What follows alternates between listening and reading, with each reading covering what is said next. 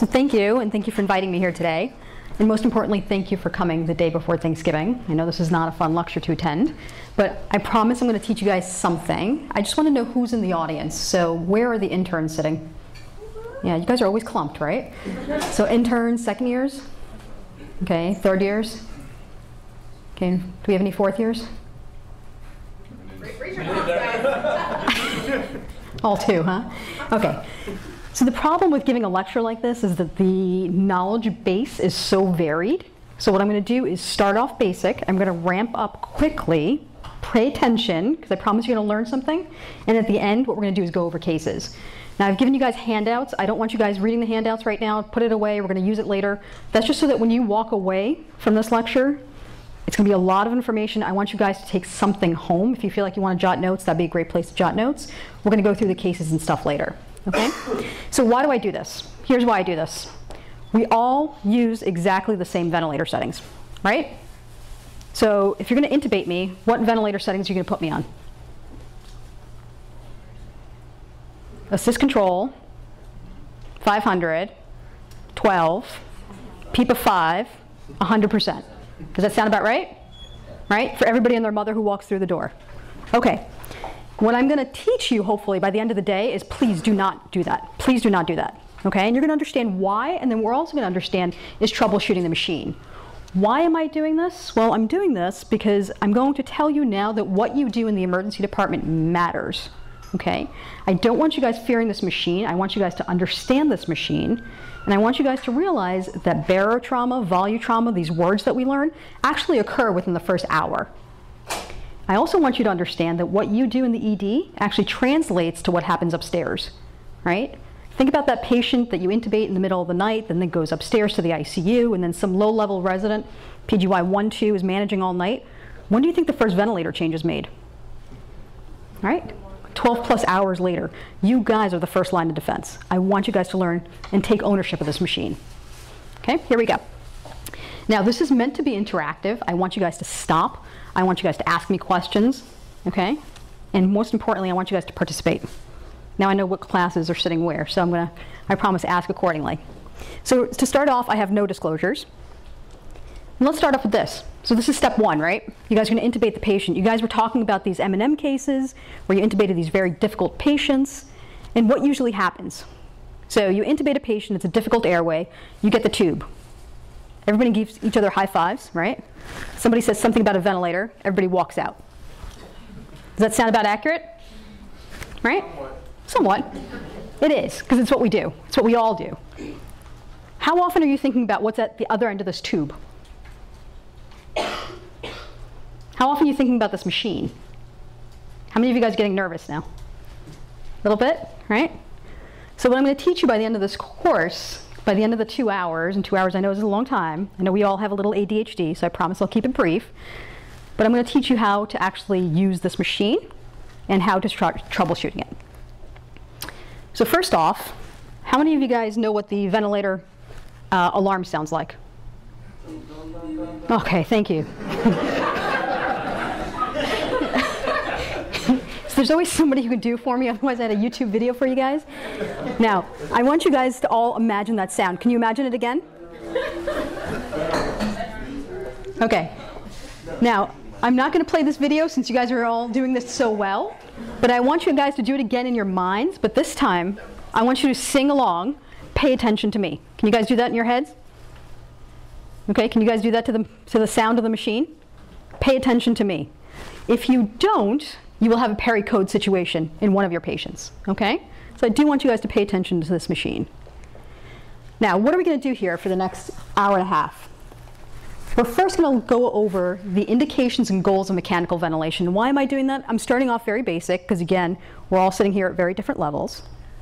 We're going to go through the phases of mechanical breathing, and I need you guys to understand the way we are all breathing right now versus what the ventilator is doing so that we can start troubleshooting. We're going to go over some important terms, right? How many of you guys have heard of PEEP, peak airway pressure, plateau pressure? How many of you guys feel confident you can define those? Eh, eh, eh, sorta, right? We're going to do it today.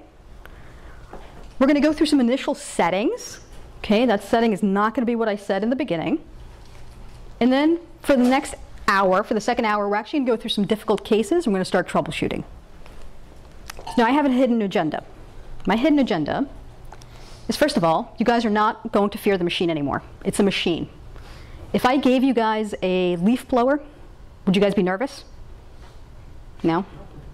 Guess what? That's positive pressure, right? The difference here is that you're connecting this to a human being, so I do want you to have a healthy respect for the machine, but not a fear of this machine. Please do not place everybody on the same settings. If you take one thing away, do not put everybody on the same settings. I'm going to help you understand how to start this machine. And please do not set it and walk away. Okay? If I impart anything else, it's that this machine actually affects your entire physiology. And I want you guys to understand that, respect it, and I want you guys to reevaluate these patients. And why is that? How many of your patients get whisked up in the first hour? Pretty funny, right? Isn't that pretty funny?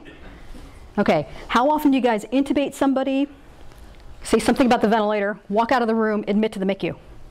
Right? How long does that whole process take? Maybe about 10, 15 minutes? Two days. Stop it. I didn't say go upstairs, I said admit to the MICU. when the admission order goes in. Two days? Is it really? It's a little tough? so in most of our places, once we admit to the MICU, we kind of forget about these patients, right? No longer our patient, we move on to the next. That's what I don't want you guys doing anymore. All right, so let's go over the indications for mechanical ventilation. Now it's time for you guys to talk. Why do you intubate somebody? Airway protection. Airway protection. What else? Failure. Respiratory failure, specifically? Can't ventilate. Can't ventilate. Can't ventilate or can't oxygenate, or both, or you guys just had a trauma M&M, right? You guys were talking about going to a third floor, right? It's that person who you kind of can't trust. All right, so let's go through this. Can you guys hear me if I walk away from that mic? Can you guys hear me okay? All right, great.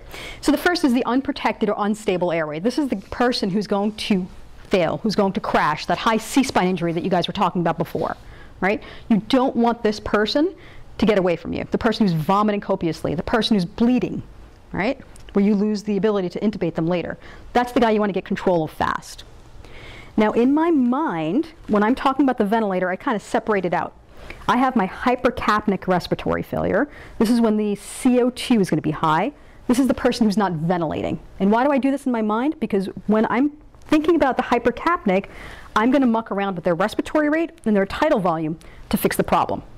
Okay? Versus if I have a hypoxic respiratory failure, this is the person who can't oxygenate, I'm now going to start mucking around with the PEEP and the FiO2. Okay? Is it possible to have both? Yes. And then there's that other guy, right? The trauma patient, the altered, the combative. I need to scan them. I need to be safe. I need to get them to a procedure. All right, let's go through this. Now, you put somebody on positive pressure ventilation, right? That's what you're doing with the mechanical ventilator. I'm now blowing air into the patient. What does it do to the heart and the circulation? What does it do to preload? Decreases decreases preload. How does it decrease preload? Which, Compresses the IVC, decreasing return to the right side of the heart. Okay, very good. So decreases venous return, which then decreases preload. Okay, so if my patient is dehydrated to begin with, what's going to happen to that patient once I stick them on the ventilator? Right? Blood pressure is going to tank. Okay. What is it going to do to afterload? This one's always a little harder, right? I'll give you a hint. It's 50 50. It's going to go up or down. Come on, guys, guess. Well, it'll increase your right heart, heart pressure. Let's talk left. Sure. Left heart. What's it going to do to your left heart?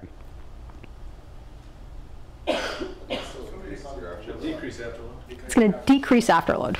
Okay, so by increasing the transmural pressure, it actually makes it easier to forward flow. This is precisely, and we're going to kind of go through this in a little bit. This is why you use CPAP on your heart failure patient. Okay, we're going to get back to that. What about the lungs?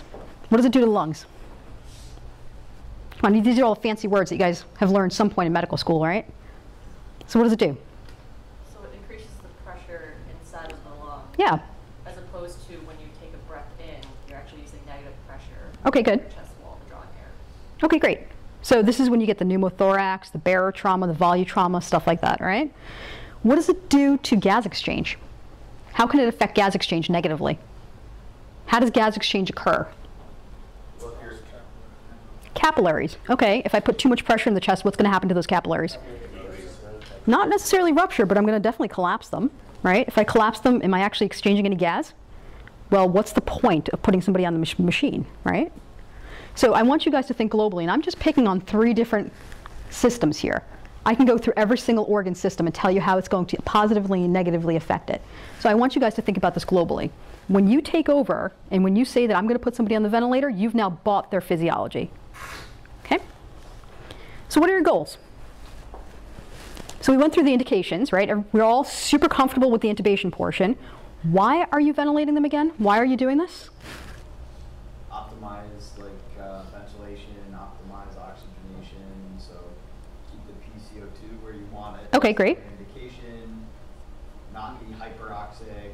Good. uh, PO2 of like a billion. You do, yeah, you want to decrease the workload on the you know, the patient Perfect. To fix the pathophysiology that happened. Okay. All right, very good. So I will tell you the reasons that I actually use the mechanical ventilator, and you guys are touching upon all of them, okay?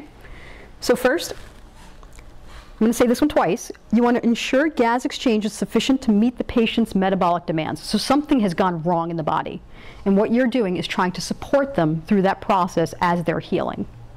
Okay, so you want to ensure gas exchange is sufficient to meet the patient's metabolic demands. And why is that important? Each disease process has its own set of requirements, right? Which can change based on the person as well. A COPDer that you intubate is very different than an ARDS patient that you intubate. Okay? You want to adjust the ventilator settings to reduce the risk of further decompensation. I can hurt people with this machine, and my goal is not to do that. And most often, there's that concept of permissive hypercapnia. So you often want to correct the hypoxemia more than the hypercapnia. The caveat, though, is that anybody who's brain or heart injured, so your stroke patient, your head bleed patient, your myocardial infarction patient, you actually need to pay attention to the CO2 as well. Does that make sense so far? Okay. Now let's talk about breathing. Okay, let's talk about mechanical breathing. We're going to start introducing some of these terms. If you guys have any questions, I want you to stop and ask me. How do you breathe? Let's talk about airflow. And I think you alluded to a little bit before. So talk to me about airflow. How does it work? How is it that you're getting the air into you right now? You generate a negative intrathoracic pressure, How? uh, like diaphragm, lowers. Okay. So brain says time to breathe, right? This is this is a process that you don't need to think about. Can I do it actively? Yes. Does it happen passively, involuntarily? Absolutely. Something says to diaphragm, start working. What does the diaphragm do? Okay, so it drops, and then what happens to your chest? It's going to expand. What happens to airflow? Just gets sucked in, negative pressure, right? Okay, so that's inhalation. How does exhalation occur? Passively, how? diaphragm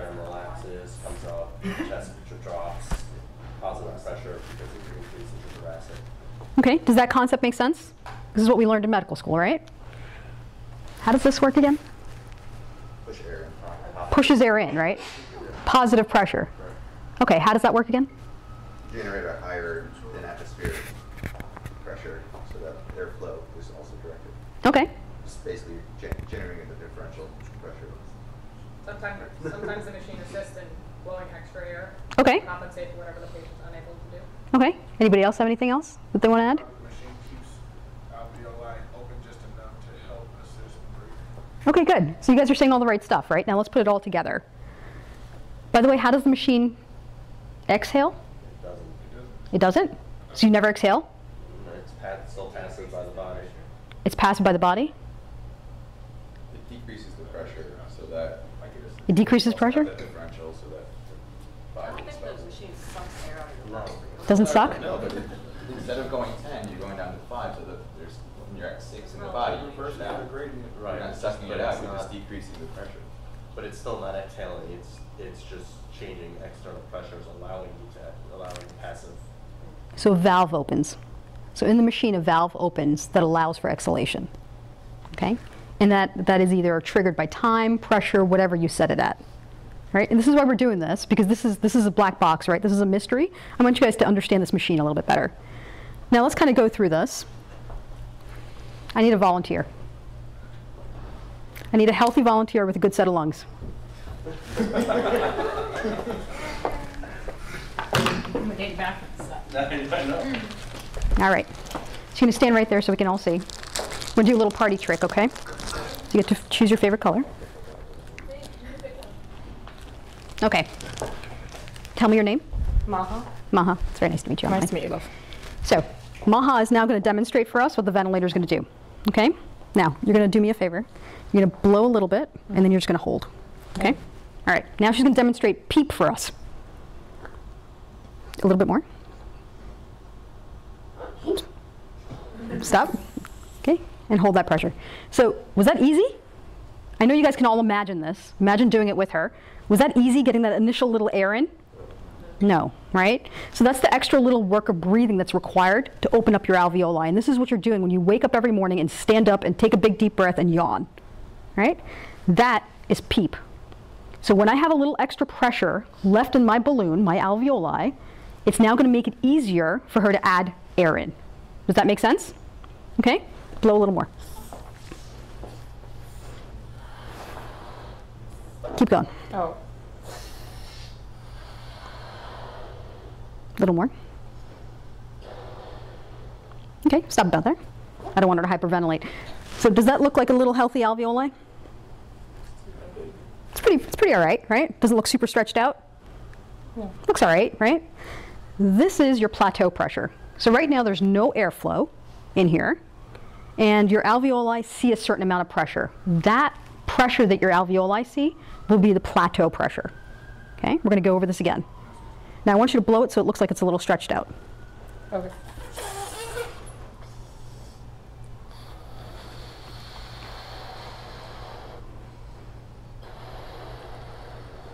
Okay, stop about there.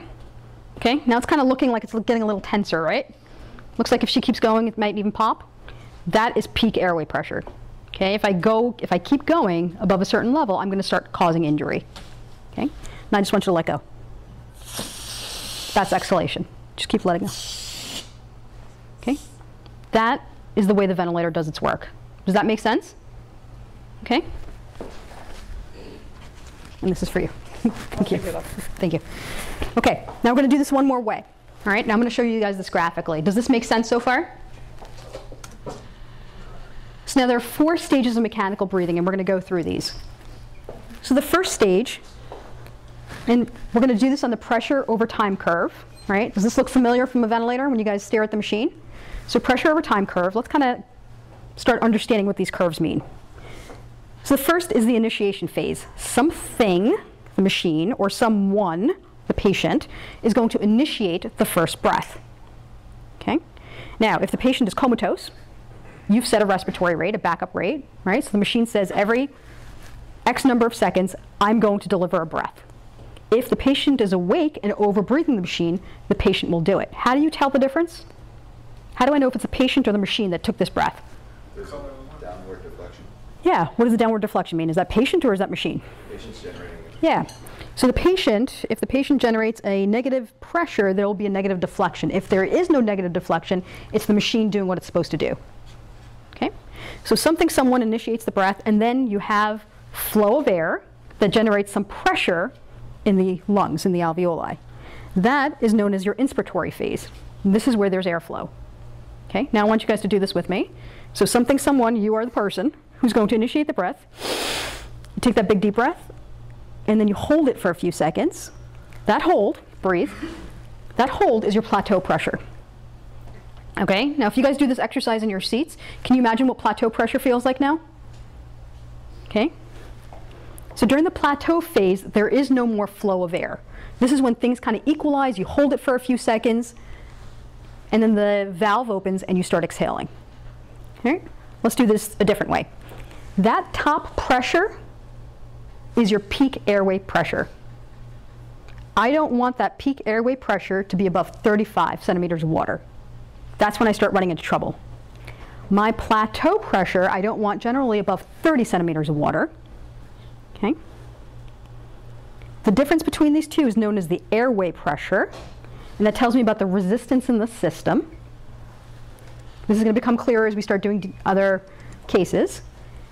And then your alveolar pressure, this is what the alveoli are actually going to see, is your plateau pressure.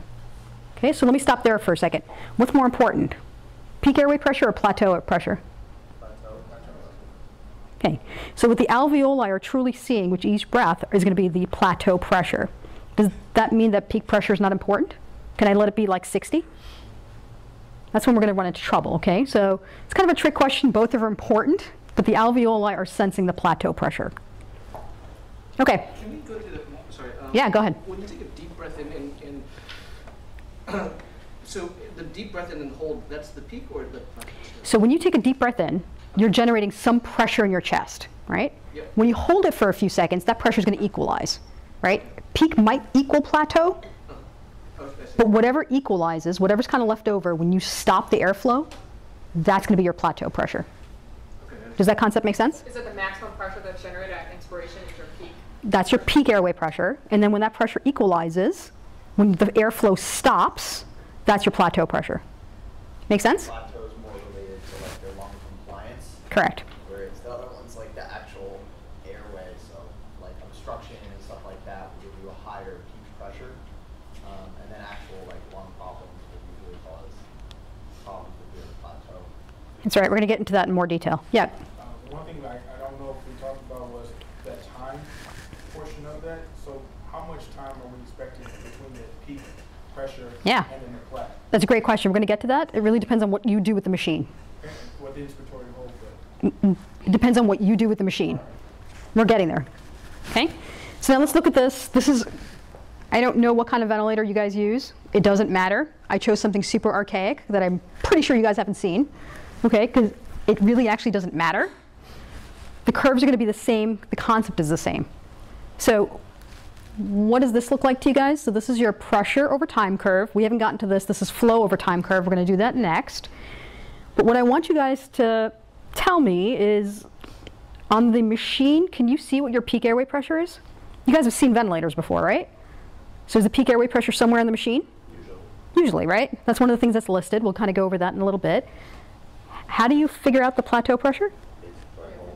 Inspiratory hold. Does that concept make sense now? Do you understand why you're doing the inspiratory hold?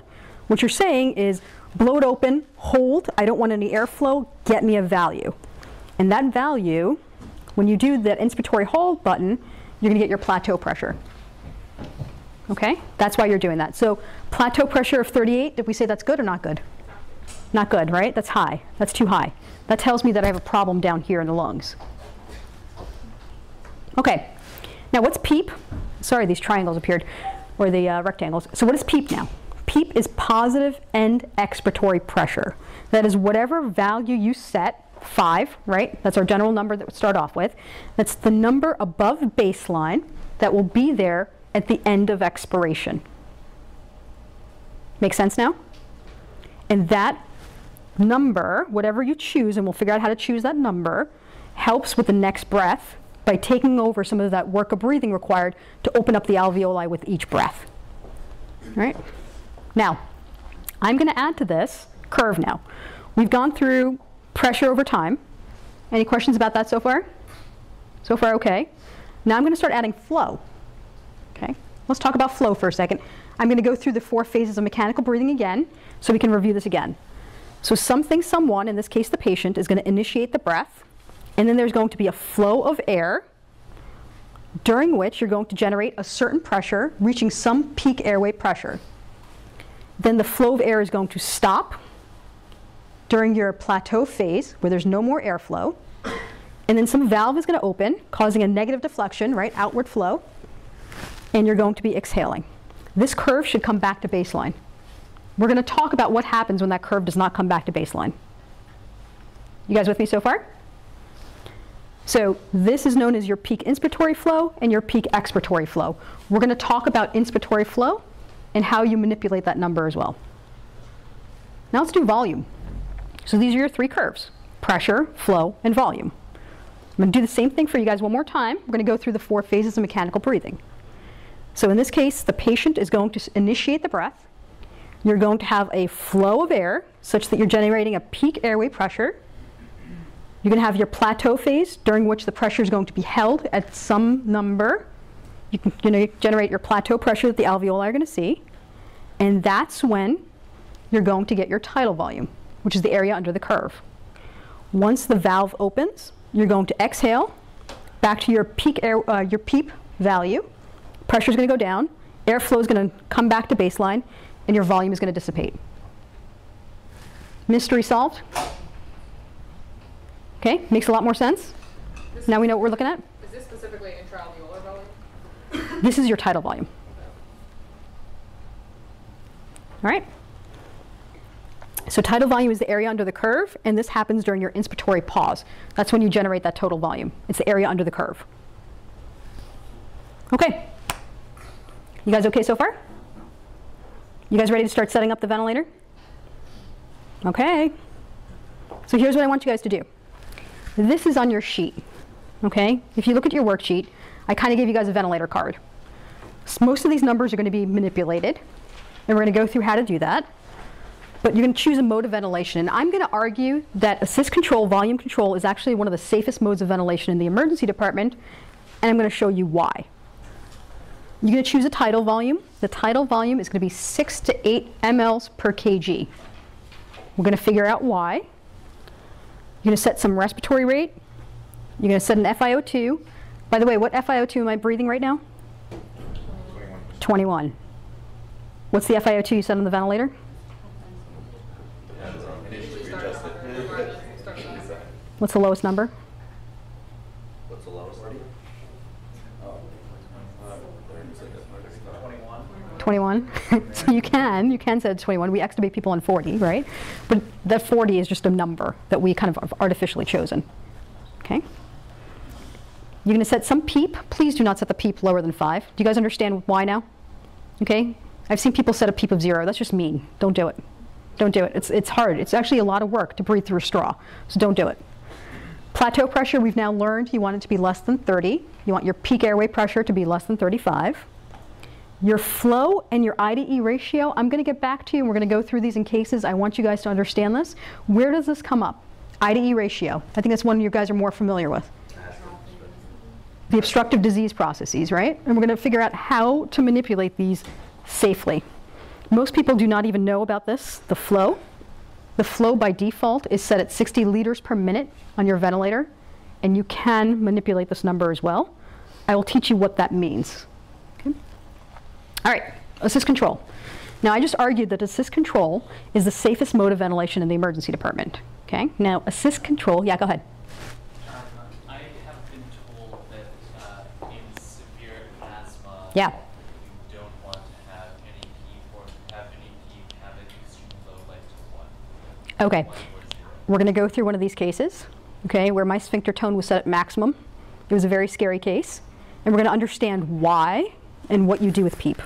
So hang tight to your question. I promise I'll answer it. Okay? So assist control, I'm arguing, is the safest mode of ventilation in the emergency department. Now, assist control comes in two flavors.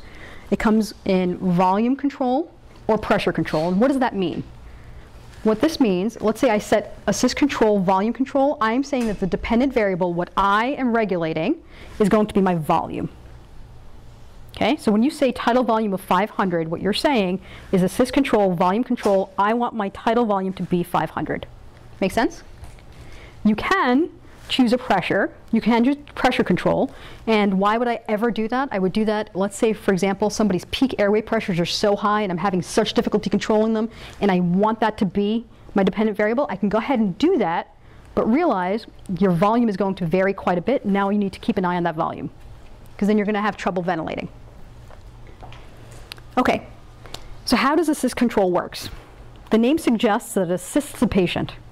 Can somebody actually, in layman's terms, describe to me what assist control does? So I think it's, if you set the volume at 500 and the patient's only able to get 350 in, it's the machine that's providing that additional 150 Okay, uh, liters or whatever it is there. okay. So let me make it really simple for you. You set the respiratory rate at 10, and you set the volume at 500 mLs. Every single one of those 10 breaths, the machine is going to deliver 500 mLs. Okay? Now let's, that, we're assuming the patient is completely comatose, not doing any work. Okay? Now let's assume for a second the patient takes two additional breaths by themselves. So you're arguing that the patient's going to get 500 with each breath? Say it again. You're arguing that those additional two breaths, the patient will get 500 mLs? Not if you set the, I think, I don't think if you set the, if there, if, if the rate was set at ten and those are additional, I don't think that would happen. I think if those are in conjunction with the machine's respiratory rate, then the machine would deliver the extra. Okay. So this is, this is why I'm going through this, because people don't quite understand what the machine is doing. So let's, we're going to be very simple about this. I'm setting the tidal volume to 500 mLs. I'm going to set the respiratory rate to 10. The patient's completely comatose, not helping. Okay? Every single one of those breaths, that the 10 breaths per minute, the patient is going to get 500 mLs. The patient now wakes up. The patient decides that they want to take five additional breaths above your respiratory rate of 10 that you've set at baseline. Every single one of those additional five breaths will get 500 mLs. On top of whatever the patient's doing.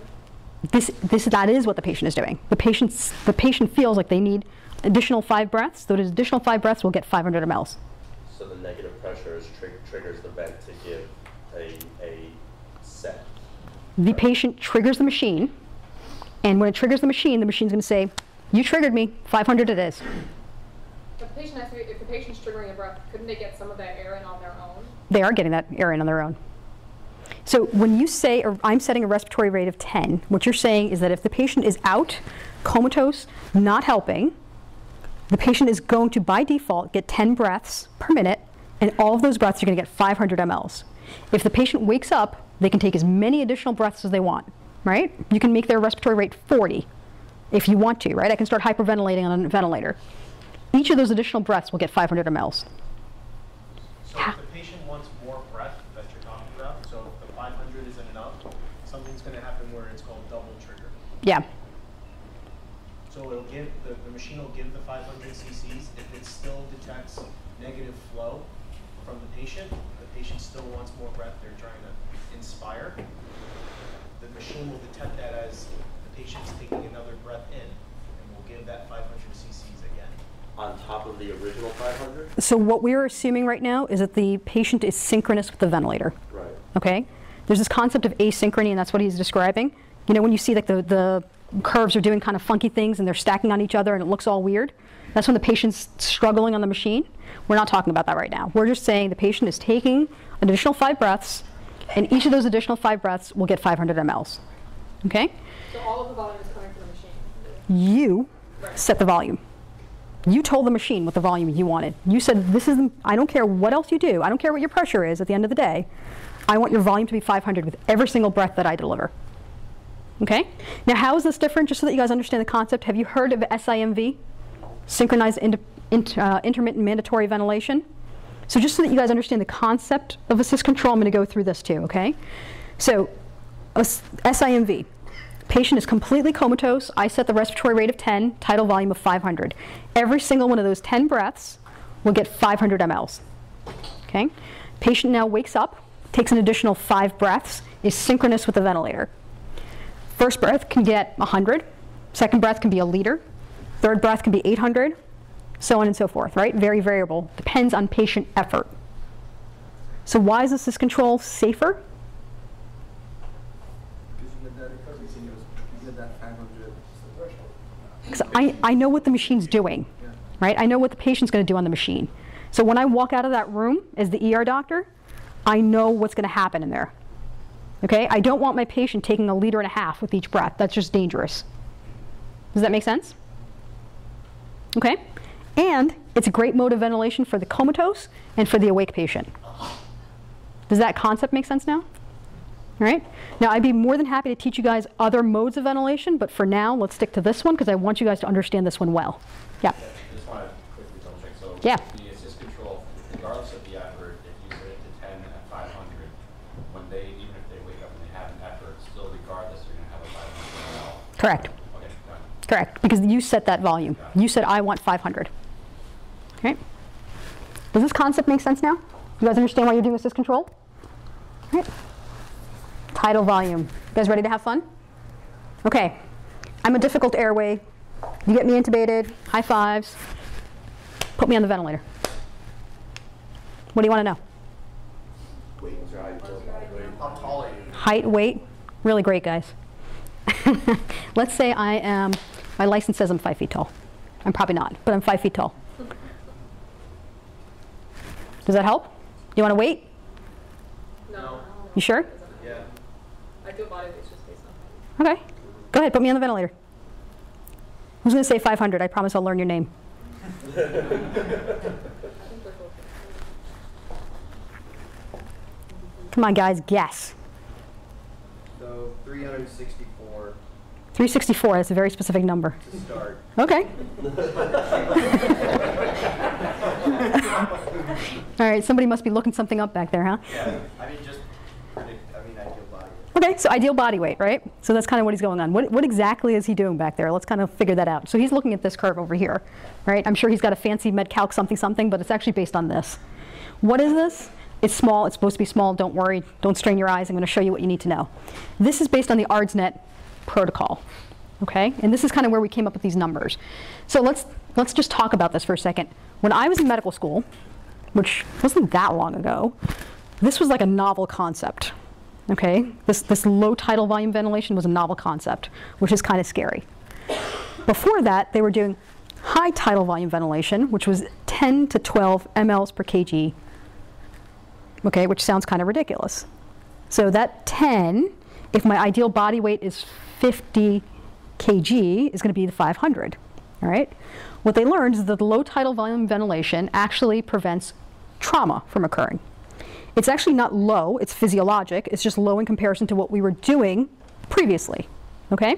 So now let's figure this out. So there are curves for females and curves for males, right? Males and females are not similar. It all has to do with body weight and extra water, so on and so forth. But what exactly are we basing this on? Why do you need to know my height? You guys asked for my height. Why do you care about my height? Because they determine ideal body weight. How big are your lungs? How big are my lungs? That's what you guys are trying to figure out. You guys are trying to figure out the size of my lungs. And it really is dependent on your height. Okay, why is that? Well, if I'm five feet tall and 50 kilos, or I'm five feet tall and 200 kilos, does my lung volume change? No, but I have extra stuff that I'm going to fight, right? And we'll get back to that in a moment. So how do we set this? Well, that's me. So that's how we came up with 364 right there, right? It's at the end of the curve. That's your 8 mLs per kg. So I would actually set me at 300. Scary, right? How often are you guys setting somebody on 300 and walking away? Probably never. Why? Well, you have a range. You have a range. Okay, so you can go anywhere from 273, if you want to be specific, to 360. So 270 to 360. 270 sounds small, right? But it's what I'm actually doing. So let's think about this for a second, because I know you guys bag people all the time, right? The adult bag. How much volume is in there? A liter? So it's about a liter. Please do not compress that all the way for me. Okay, does that make sense now? Okay, this is why you really need to pay attention to the person who's bagging. Please do not give me a liter with each breath. Okay, now for the same male who's five feet tall, and sorry, some of this went off of the uh, board there, 300 to about 400. Okay, for a five foot tall man. Um, so who gets 500? Can you guys see that? Bigger people. So it's the woman who's six feet tall. A six foot tall woman is going to get 500, and a man who is 5'10. Okay? So I'm doing actually this research project now looking at what we're doing in the emergency department, and it is so variable. And one of the patients was set on a tidal volume of 800. I just don't understand why. Um, but who gets 800? That's a seven tall, seven foot tall woman. Okay, I promise I've never seen a seven foot tall woman. I've seen a lot of things. I haven't seen that. So, do you guys understand how to set tidal volume now? How to have a healthy respect for this? Respiratory rate. So now you've decided my tidal volume is going to be about 300. What's my respiratory rate again? Why am I intubating? Great question. I have pneumonia. 12. Okay, so what is my respiratory rate before, and why is that important?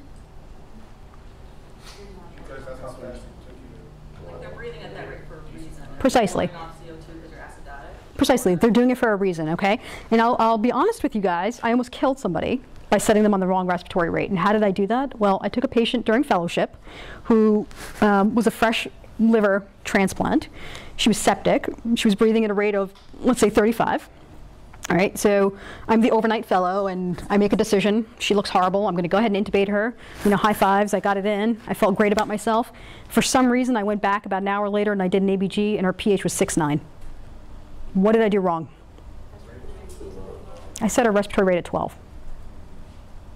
Okay, instead of the 35 that she was breathing. So I nearly killed her.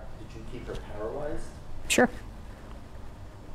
I mean, because she should still, I mean, unless she should still breathe over the vent then, So she could. unless you're, unless you're paralyzing her. Yeah, I mean, this, this one was sick. Okay. This one was not doing so hot. So I took over. Do you guys understand now why it's so important to think about these things when you decide to take over? Okay, if I had not checked that ABG, she would have coded. Right? So respiratory rate, you're going to figure out what the patient is doing before, why do they need to be intubated, and that's going to help you dictate your respiratory rate. And we're going to get back to this when we talk about our COPD patient. PEEP, what do you want to set my PEEP at? It also depends on the disease process, I. I have pneumonia. Five, Five. When do you go up? Arts. ARDS? Anything else? No, that- Yeah. CHF? So it's what the patient needs, right? What happens when you increase the PEEP? What do you have to pay attention to? Blood pressure. Blood pressure, right? So what you're doing is increasing the pressure in the chest. We talked about how that decreases venous return. So if a patient is dehydrated and I start increasing the PEEP, the patient's blood pressure is going to drop. All right, so YouTube video. This is just so that you guys understand what PEEP looks like. Has anybody actually seen PEEP actually work? Let's see if this works. You're recording again. This is a different angle. On shot, Zeep. And we're going to go. Okay, so don't worry about Zeep and all that business this guy is talking about. Here's kind of what this is. This is a rodent model. And what this guy is doing is recruiting the lungs. So in essence, kind of cranking up the PEEP. Do not do this by yourselves in the emergency department. This is something that I do in the ICU, watching the patient like a hawk. But this is what PEEP actually does, okay? So what he's done now is cranked up the PEEP. Let's see if we can play this. You guys see how lung is being recruited? Okay, parts of the lung that were not previously working are all of a sudden going to start participating in the oxygenation and ventilation process. Okay, and then you're going to see he's just going to drop the PEEP all of a sudden. Look what happens.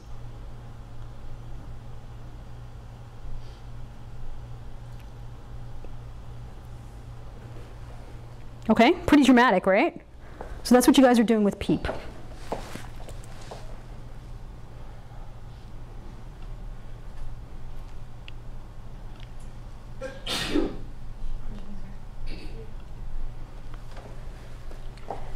All right, FiO2.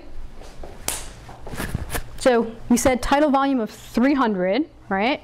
My respiratory rate, let's say, is 12 for a moment. My PEEP is 5. My FiO2? What, what's your what's your SpO2 before this? Okay, what's my, what is an SpO2? Pulse ox. Pulse ox. Do you guys understand that difference? So an ABG gives you an SaO2. Your SP is your pulse ox number. My pulse ox was 85. I mean, you could start it on a Start at 100, crank down. Okay, we all kind of do that, right? Start high, think about it, go low. How often are you walking back into the room and cranking down? You're not, right? It's okay, you're not. If you think about it, you are. There's actually some that argue that you should start low, muck around with your PEEP if you need to for the oxygenation component, but don't, don't over oxygenate the patient. There's actually this great paper that's going to be coming out in the next several months about hyperoxia in the emergency department and how it increases mortality in patient. All right? So remember, what you guys, what you guys do with the ventilator actually matters. So the flow rate and the pattern, you guys have heard of ramped and square wave. We're going to kind of touch on those a little bit. And then your I to E ratio, we're going to talk about those when we talk about a case. So here's another archaic ventilator, okay? You guys ready for me? I'm going to do a little, a little test. So you, how many curves do you guys see on this ventilator? Two? I heard two. So what are they? What is this curve? Pressure. How do you know? Okay, very good. good answer. Um, but also the waveform, right? We kind of talked about this waveform. And then what is this curve? That's your flow curve, right? That means flow. Okay, what is the mode of ventilation here?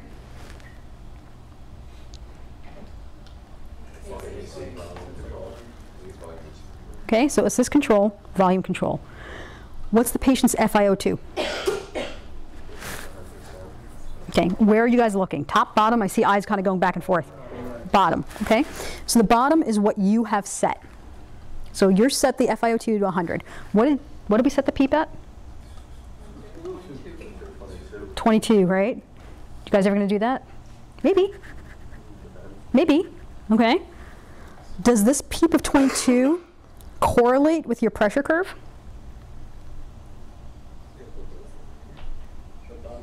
Yeah. So you see how this baseline number is at about 20? Okay, I know you guys can't see those numbers, but does that make sense now? Okay. Um, what's your tidal volume? 350. This person was my size. I can tell you that already. Okay. Um, what's the respiratory rate again? Set at 32. Set at 32. How fast is the patient breathing?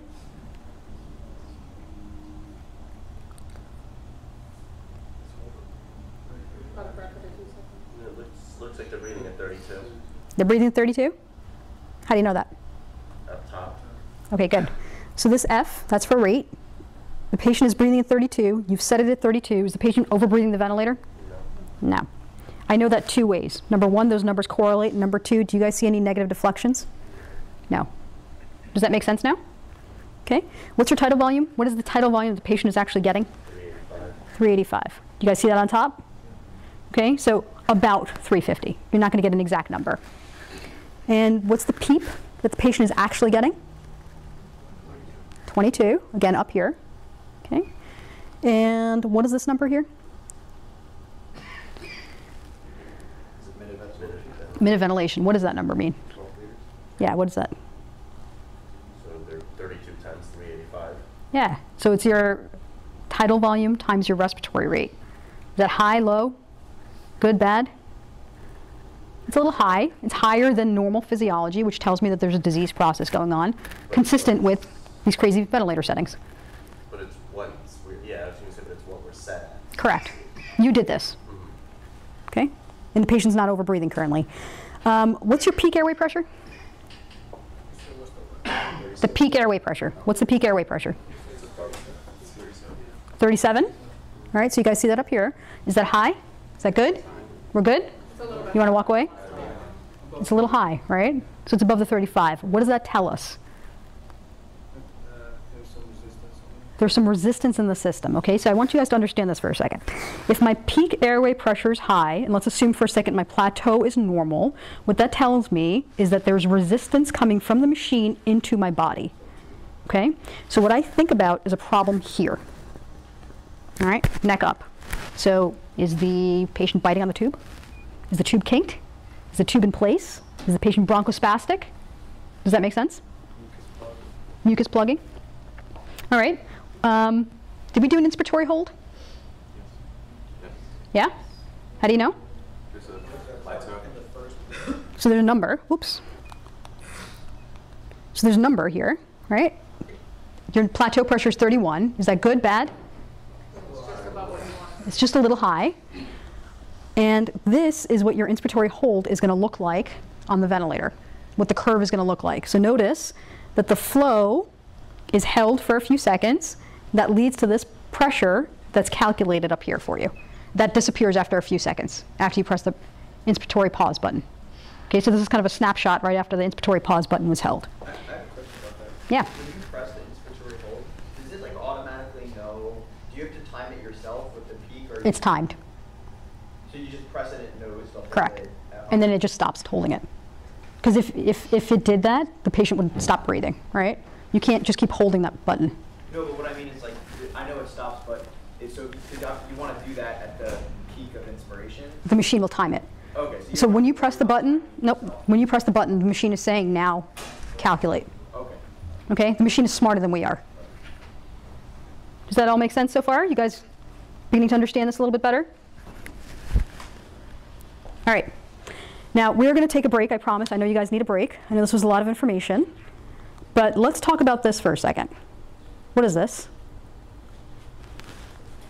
Non-invasive. All right, non-invasive. Um, I can do, so what are we actually talking about when we talk about non-invasive? We're talking CPAP and BiPAP, right? I can do CPAP and BiPAP on the ventilator. Okay, I know we don't often think about that. I can do CPAP and BiPAP invasively and non-invasively. Okay. So, CPAP, what does it stand for? Continuous positive airway pressure. What does BiPAP stand for? Bi-level positive airway pressure. I have gotten in trouble once during my fellowship for calling it BiPAP. One of the purists I was working with told me that it's actually BPAP because BiPAP is like saying Band-Aid when you mean bandage. I call it BiPAP, okay? But just, be, just so that you know it's out there. If I ask you guys to draw a CPAP curve, what does it look like? Straight line? Straight line? At what number? Whatever you said the pressure, pressure. Okay, so what are the what is the actual values of the curve? X-axis, y-axis? Pressure and time. Pressure and time. So what we're talking about is a pressure and time curve. Okay, and what we're talking about is this. So you set some pressure. Give me a number. Make it up. 45? That's crazy high. let's say 5. Okay? 5. Give me 10. So what you're setting for a CPAP setting. So let's say, let's pretend for a second this is 10 centimeters of water. What you're saying is that throughout the entire respiratory cycle, I want the patient to get a PEEP of 5. When do you use this?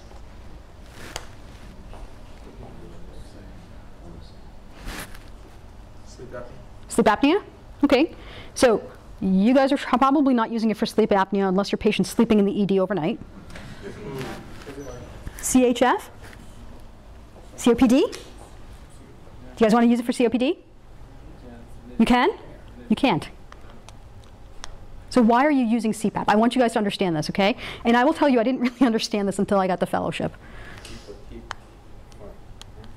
So you're, okay. So this isn't quite PEEP. PEEP is at the end of it's at the end of expiration. This is a continuous. So let's think about this for a second. It's kind of similar to PEEP in what it does. So what does it do to preload again?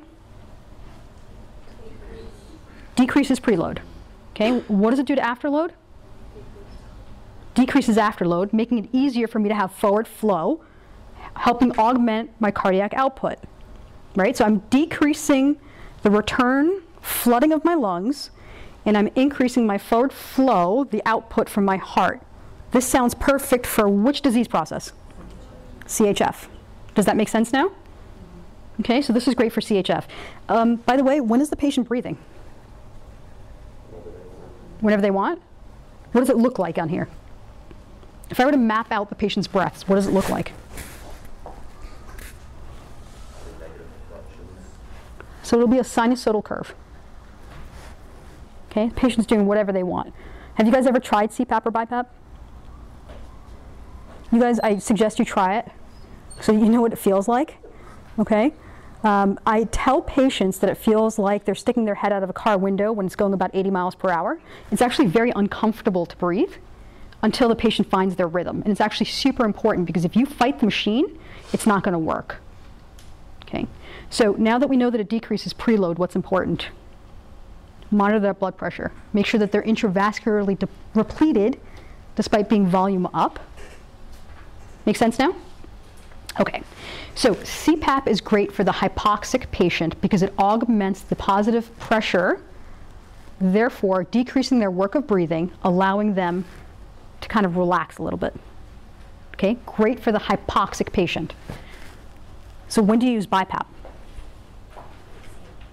COPD. So this is a patient who potentially has hypoxia but also has hypercapnia. It also helps with ventilation, and let's figure out how it does that. So same curves, pressure and time. And now you're doing this, right? If I ask you guys to draw it, you come up with something like this? So what is this? So you guys set the high number, the low number, right? What are you doing? Give me examples. 12 and 6? Great. 12 and 6. You set a respiratory rate? Maybe, maybe not. Okay, so you say 10 over 6 to your respiratory therapist and walk away, okay? So what, is, what are you actually saying? You're saying that this number here, which is synonymous to your PEEP, is your expiratory positive airway pressure. Okay, that's your, the I and the E that you're setting, this is your E. The I, which is your inspiratory peak airway pressure, is synonymous with your peak airway pressure. So if I say that number is going to be 10, the peak airway pressure is going to be 10, and my PEEP is going to be 5, 6, whatever you decide to set. Patient, again, is breathing throughout this entire cycle in a sinusoidal fashion. So how does this work with ventilation? It assists the breath, but also maintains that respiratory pressure. Okay, so it creates a gradient. And that gradient that you're setting helps allow ventilation. Okay, that helps kind of push out that excess gas and clean out basically the system. But the patient is taking breaths no matter if it's a high number or a low number. Does that concept make sense now? Okay, this is why this is great for the CPAP, for the COPD patient. This is why you don't want to put your COPD patient on just pure CPAP. Cool? Any questions? Yeah, can you say that again? So, um, I mean, I, I definitely understand the CPAP part being equivalent to, to PEEP. Inspiratory part, though, so it, it, you, you know, you said it at 12 or something like that. Yep. But my, when I'm breathing in, I'm breathing at, at like, you know, 500 or whatever. Mm -hmm. So what does that 10 do to my 500?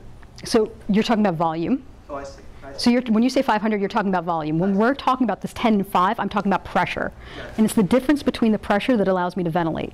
So let's say you have a patient who has COPD, their CO2 is, let me make it a crazy number, 90. I set them at 10 over 5. Okay, I walk away, I come back, that number is now, the CO2 is now 80. What do I want to do to help them get rid of more CO2? Increase my gradient, right? So that's when I go over 15 over 5. I start mucking around with my pressures so that I'm creating more of a gradient to allow them to actually get rid of the CO2. Does that make sense? Why don't we ever approach an IPAP closer to thirty-five? You can, so you can do what you want, but realize that the higher you set these numbers, the more consequences there are, right? So what I'm trying to do is find that sweet number that allows me to get the actual ventilation I need without harming the patient. If I don't need to start at 35, it doesn't make any sense to start at 35. Lower is better. That thing also, right? That's like going, out- put your head out the window at Exactly. four hours or eight. This is pretty uncomfortable. You know, I was, I'm not kidding when I say that you guys should actually kind of get a sense of what this feels like. And I know you guys know what it feels like to stick your head out of a car window, right? You guys have stuck your hand out of a car window? You know that extra pressure that you feel? It's actually very uncomfortable to breathe. And the higher I set that number, the more uncomfortable it is. So literally, when I set my patients on this, I literally sit with them and I try to keep them calm because unless they find their rhythm with this machine, it's actually kind of difficult. Okay? Is there a normal, huh, for the, like, for a normal healthy individual in the IPAPs? Like, wh- What are we normally doing? Then? For a normal, so what do you mean by normal? Like, it's, if the max, if, if the healthy maximum is thirty-five, like, what are, what are you, are we all going right now at about ten, uh, fifteen? So we're, we're, okay, I, I think I see what you're saying. So this is to help you augment your ability to release. So what I'm doing is generating an extra pressure in the chest to help the person ventilate. Okay? So when we say 35, we're talking about that peak airway pressure. You're talking about ventilator pressures, right? So I'm not going to generate that kind of pressure using this machine. Can I? Yes. I don't want to. You should as well, this is positive pressure, right? You don't do that. Right. This is still positive pressure when you're. Sitting So it's here right creating now, a you're positive pressure gradient and then releasing that and creating a, a, a, a, a pressure gradient that, that forces the air out. But when you ask what you're doing normally, you're spontaneously is negative pressure. Exactly. Make sense? So use the example of CHF for, for CPAP Yeah. and, and you talked about COPD or, or asthma for BiPAP. Is, is BiPAP ever appropriate in CHF? Is, is it, or is it just CPAP? So unless the person has a ventilation problem, what are you doing with the BiPAP? What is BiPAP adding to a CHFer's treatment? And I ask this because we all do it, right? Person has CHF, BiPAP. I, do, I used to do it all the time before I understood what it was actually doing. You could argue that for that inspiratory cycle, it's uh, just transalveolar pressure increasing it, so if they fluid in their alveoli, that you're CPAP cycle pushing even harder. Potentially. Physically pushing that fluid. Potentially, potentially, but unless they have a problem with ventilation, I can just set my, my, Your CPAP very high. exactly, I can set my CPAP higher. You're also just keeping, keeping alveoli open, preventing collapse. CPAP does that anyway, though, right? CPAP is already doing that. So what is the BiPAP component adding? Ventilation, but the patient's already ventilating. Comfort, discomfort. Discomfort, actually. Discomfort. It's, but they're more comfortable on CPAP than BiPAP? And this is not comfortable, right? This is what I need you guys to understand. This is not exactly comfortable. This is, this is, this takes time to get adjusted to. But it's, Higher pressure from CPAP is added. BiPAP, a BiPAP is not comfortable? I'm saying non-invasive. Both of them are uncomfortable. This is positive pressure in your face. Right, but both, but both of them are. Both of them are uncomfortable, but it's kind of like saying, why would I give you an aspirin if you don't need it? It makes me feel better, but I'm not treating anything. Does that make sense? And also just remember what your underlying thing you're treating, right? In a- in a CHF patient, you're treating a flow, a forward flow problem and a congestion problem.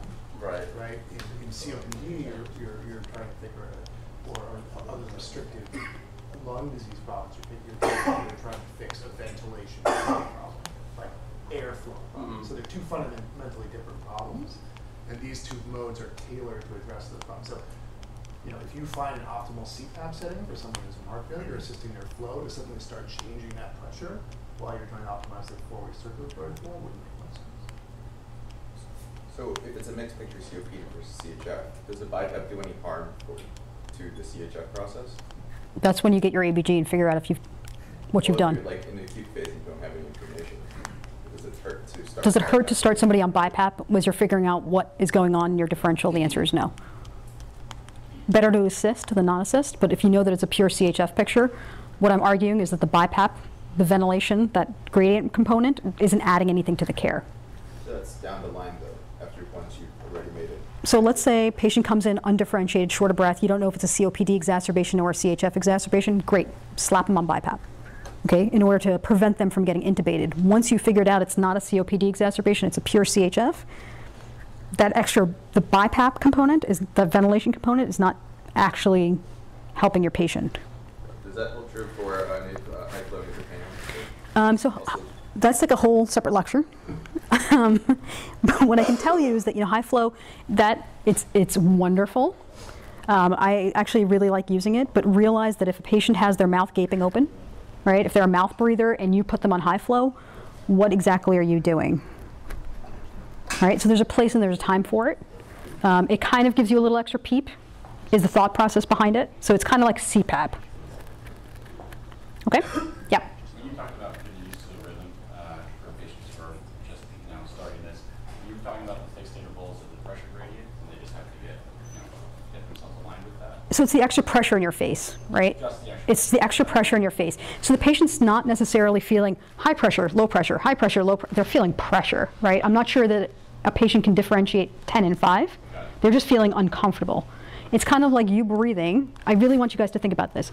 If you stick your head out of a car window when it's going 80 miles per hour, do you think that's going to be comfortable?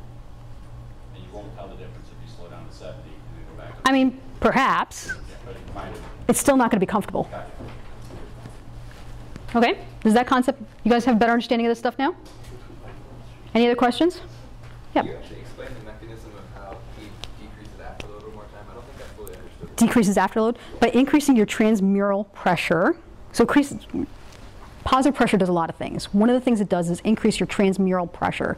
And by doing that, what it's actually doing is creating a gradient that allows the blood to flow forward out of the heart, in essence, augmenting your cardiac output. But that's a preload. You're you're Af- increasing the, well, you're, you're saying you're pushing all the blood from the lungs into the left atrium. I'm talking about the, from the left ventricle. So from the left ventricle into the aorta, it, the transmural pressure creates a gradient allowing better forward flow. In essence, augmenting cardiac output in a patient whose cardiac output is already pretty poor. You're basically augmenting contractility rather than decreasing. Mm, be careful with your words. We used to refer to this as a non-invasive, uh, pulmonary. No. You are pushing forward. Correct. Think of it as a pressure bed. So, so that's contractility. right? No. I would not, unless I misunderstand it also, we are not actually, this is not like an ACE inhibitor decreasing No, Correct. Right? You're still pushing against the same amount of force, you just have more push. exactly. Extra You're promoting assistance. forward flow, you're, you're you're not decreasing the decreasing- pressure to push against. For each cardiac output you have, it's just easier to get stuff out, right? So if my cardiac output is so poor, it just makes it easier for me to get stuff out because of the pressure gradients I've now created in my chest. Okay? My cardiac output is not changing. My valves are not changing. If they're diseased, they're diseased, they're going to stay diseased. All this is doing is making easier for that blood to flow forward because of pressure gradients I've created in the chest. But, but just as your intrathoracic, I don't understand this why, just as your intrathoracic pressures increased and decreased your venous return, should it also increase pressures on the ao- aorta? So it does. It's just it really again depends on what you do. But the if you set it correctly, your transmural pressure should increase such that you're increasing forward flow. Is this going to happen every patient? The answer is no. And this is also very, very dependent on intravascular volume. Precisely. So if you are, if you put someone on CPAP who's bone dry, the preload reduction is going to predominate in terms of dictating uh, forward flow. Your, your, your decrease in preload is going to is going to outweigh any augmentation of, or, uh, of forward flow that you get from decreased afterload. CHF patient, typically the forward flow predominates because you're not intravascularly depleted in those states. This is all theoretical. What happens in your actual patient really depends on how your patient presents. But the reason that we use it, the reason that we use CPAP in a CHF patient is that it decreases preload and can decrease afterload as well. Okay, so theoretically, it, it's helping with both, both ends. Okay, any other questions for now? I know this was a lot to wrap your minds around. Take a quick break. We're going to do cases.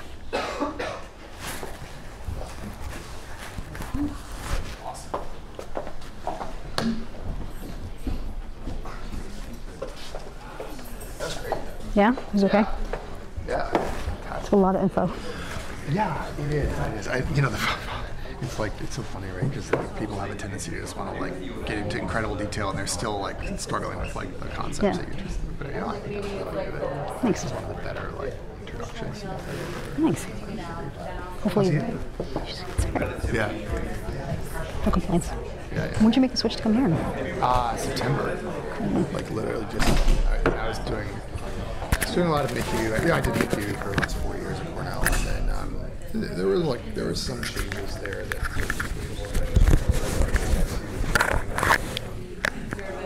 It's just a good time to. It's a good time to just try something new. Nothing, no bad blood. or anything. Their their fellowship is moving a lot. Yeah, so we're doing uh, research. A light snore.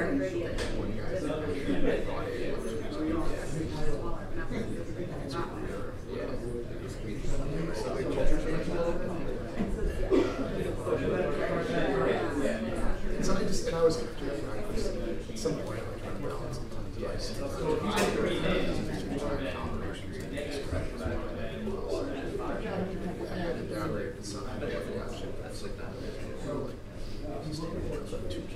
We're under two years old. Uh,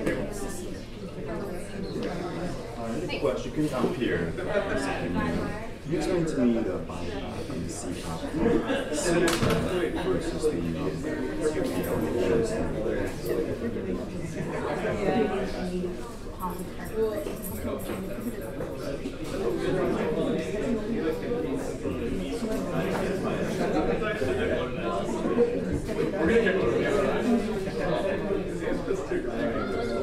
But it's not really a peak.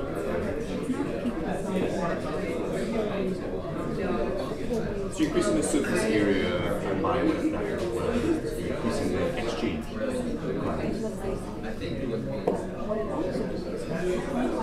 Okay,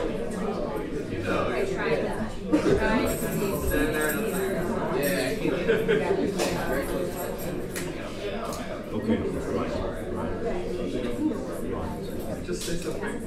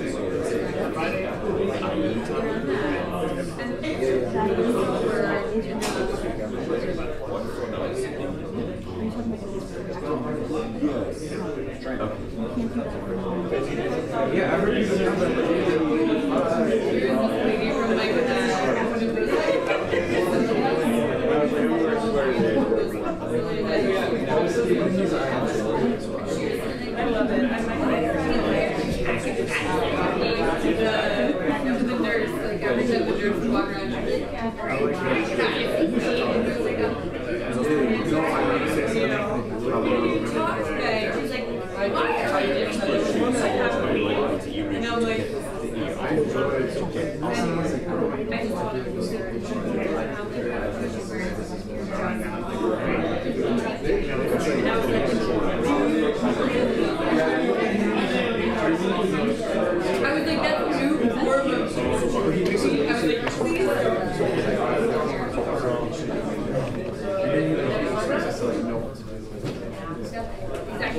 Ready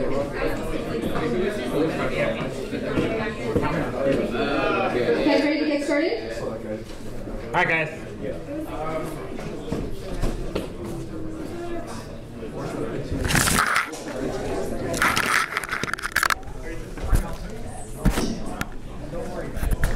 Did we lose a lot of people?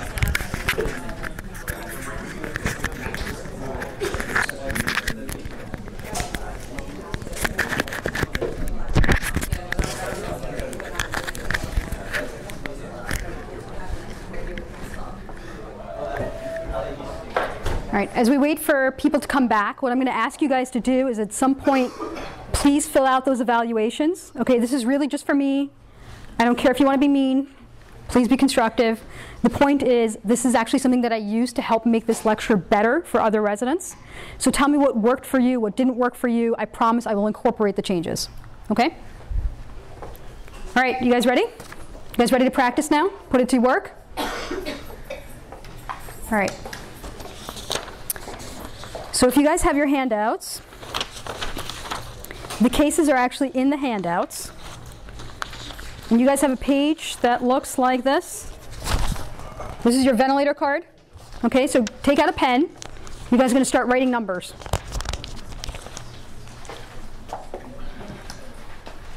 All right, you guys ready to get started? So the, uh, the synopsis of these cases are actually included in your handout. But we're going to kind of go through these in detail. So let's do this. So case number one. This is Edna. These are real patients, okay? Pictures obviously not, but the cases are real. So Edna is a 85 year old female. She comes to the emergency department one late night when you're working. EMS says that she syncopized. She fell down to the ground and she was having some trouble breathing. When they found her, she was agonal. So they decided to intubate her. They took the fun away, right? All right. So in comes Edna. Uh, Edna's, she's about 85. Her husband's about 92. He comes in with her and he says, Edna's been having a lot of trouble breathing for the last week. And we even went to her cardiologist and he gave us more Lasix. I don't know what happened today. I was washing the dishes, I turned around and she was on the floor. You've seen this before, right? Okay, here we go. Edna's now in your shop, okay? And Edna has a history of COPD. She has CHF, her EF is about 20%. She's got an AICD. You have no idea why. And she's had a heart attack in the past. Um, you're going to assume for a second that the AICD is because her heart failure is so bad, you can't really get any other information right now. So what's the first thing that you want to do when this patient arrives in your emergency department? She's intubated in the field. Vital signs? Okay. Nurse is getting vital signs for you. Check tube placement. Check tube placement. How do you want to check tube placement? Breath sounds? She doesn't have breath sounds on the left. What are you going to do? But she has them on the right. Mhm. I get an X-ray. If her vitals are okay, I would get. An They're not. They're- What are her vitals? They're not good. You can back on the tube, you can put on your end tidals, make sure. Okay, so you're doing all that. You decide that you're going to actually use the GlideScope because it's handy. You take a look, the tube is going through the cords, and you decide to pull back a little bit. Okay? All right. Also get an EEG to kind of see where you are. Okay. Whatever the EMS is. So at this point, she's like literally just rolling in. Okay? An hour later, you get it? Stop. I promise I'm not going to give you an hour to take care of her. Okay? So uh, the nurses are kind of getting lines. They're putting her on the monitor. You're doing all the stuff. You've now manipulated the airway. You pull it back a little bit. Um, now what are you going to do? Listen again. Okay? So respiratory therapy is there now. They put her on the ventilator. You auscultate again. Now you have no breath sounds. No breath. sounds? No breath sounds. And when you look, you're panicked now. Okay? She's. Probe on her. We don't panic, we put the probe Yeah, put the probe on her. What are you looking for? Check for, for pneumo or B lines. Yeah. No pneumo, no B lines. No pneumo, no B. No pneumo, no B lines. And by the way, you take a peek at the ventilator, and she's pulling tidal volumes about 100. Plateau pressure? I don't know. I have a lunchbox ventilator. Have you guys ever seen those? I can set my FiO2 to 50 and 100. She's on the ventilator right now. So, if respiratory distress is intubated on a ventilator, what's the first thing you do? Take her off the- take her off the ventilator. Okay.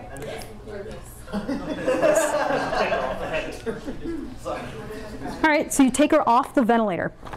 All right. Um, so somebody wanted to get an X-ray at some point. All right, so X-ray's here. You're now bagging her. There's her chest X-ray. Okay, she has no breath sounds, so you're going to actually look at the ET tube again. Yep. First question is after I put her on the bag, I take her off the bag and bagging her, do I feel a lot of resistance when I'm bagging? Yeah. So why is he asking that question? Because there could be some, some obstruction uh, after the tube, um, for whatever reason. Or in the tube. Or in the tube? Yeah. So this is not your tube, right? So you have no idea what it looked like when you went in. You have no idea what the conditions were. Tube to check the balloon. Balloon's great. The balloon is inflated. Okay, so you have a chest x-ray. She does not have a pneumothorax. What do you guys actually specifically want to know from me when you're bagging her? Have you guys ever bagged a patient who has COPD? How hard is it, right? So the respiratory therapist is bagging for you, and you ask, Are you having a hard time bagging? Right? That's what you want to ask. And he says, No, as he's like pumping away. Okay? What else do you guys want to do right now? So you want to check your tube placement? Can I just say one, one thing? What, when you guys disconnect her, put her in a bag, right, what you've done is you've taken the ventilator out of the equation, that's what the source of the problem. is. So when you're trying to rapidly identify what the problem is, it's just the first step you do in in taking one major piece of confusing equipment out of the equation. going through the troubleshooting, we took the ventilator out, that's still not working, then we can, like, if the tube is, maybe the tube's the problem. Okay. reason, What do you wanna do? Then you can put a bougie in and switch out the tube. Okay. I'll let, okay. Yeah, tube. So you suction the tube, nothing comes out. You want to go ahead and do the bougie? I'll let you do it. After we start bagging her again, we re-listen to hear if there's breath. Yeah, there's no breath sounds. There's no breath sounds. So I'm going to let you guys do both. Okay. So you suction, nothing comes out. You want to go ahead and use your bougie, use one of your own ET tubes. Great, you do it. You still have no breath sounds. Did we like press on the chest to see if there's breath stacking? Why would you do that? Why would I do it? Yeah. See if it like exhale all that other air that was was getting pumped. Okay, so we haven't done that yet. Okay? So as you're kind of doing all of this stuff, you notice that her blood pressure is now dropping. Okay? Her blood pressure is now 60 systolic. Okay? What does that mean? She's not auto. She's not auto. She's not paralyzed. Yeah. She, she could have been before when she was on the ventilator. And she was on the ventilator for Ventilator's not gonna fix all of that. she was on the ventilator for about a minute. You noticed that it was not working, so you popped her off. Right, so did you notice a long expiratory while you were futzing around in your bag and you hear like Okay, very good. So what I did at this point was I gave the respiratory therapist a job to do, and I said, go and get me a connection piece so I can start giving the patient inline nebs through the ventilator. And I actually took over bagging. Okay, this is when you actually want to have, really have control and know what's going on in the room. And that's exactly what I did. I actually just stopped bagging the patient just to see what would happen. And what happened was exactly the noise that you made. The patient actually started exhaling very forcefully and very prolonged. What does that tell you? Air trapping, right? So what would have happened if we kept doing this? The respiratory therapist was telling me, no problems, right? He's bagging. What was he actually doing? So stuff was going in, nothing was coming out, right? So why was the patient's pressure dropping? I'm decreasing the preload in a woman who probably has a pneumonia from her cough times a week, right? Probably why she also syncopized. She has COPD, that's probably kicked into high gear. Now I've decreased her preload. I'm not letting her exhale. This is a recipe for disaster, okay? And this is what makes intubating your COPD patient so scary. All right? What do you guys want to do? So I let her exhale.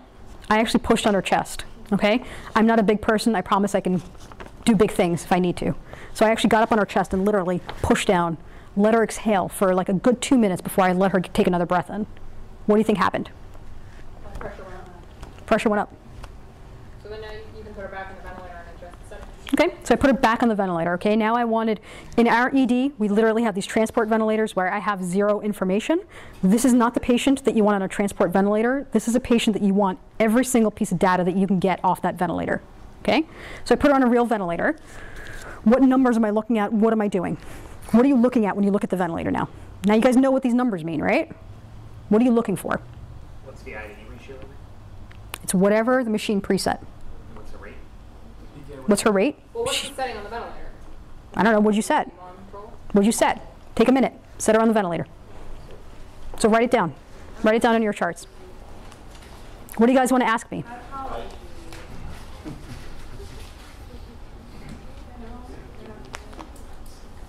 You guys want to know any information? How tall is she? How what? How tall is she? How tall is she? She's about my height.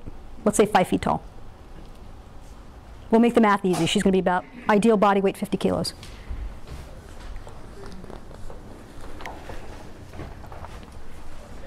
Okay, so we're going to do this out loud together, okay? And it's okay if you guys are wrong. We're going to we're going to we're going to fix things, okay? So mode of ventilation, what do you guys want to choose? Assist control, volume control. Okay, we'll start off with that. Tidal volume? 300. 300 is actually okay. Respiratory rate? I guess so quiet.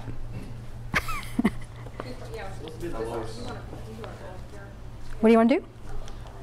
30? 30? 25. Okay, set it at 30. Sure. You guys want a respiratory rate of 30? We're going to see what happens to the patient, okay? So respiratory rate of 30. PEEP. I'll probably do it like 18 18? She was, she's, she's comatose by the time she gets to you. So we're all guessing here. So 18 to 30. Does that sound good? I'll let you guys choose any number in between there. Write something down. Commit. Lower PEEP? Choose a number. Five? Give her a PEEP of five. What's her FiO2? What's she standing at right now, now that you have her hooked up? Uh, she's setting about 92. Ninety-two? Forty 40%? percent? All right, put her on 40%. All right, so you guys are committing to this, right? You guys ready? Any objections?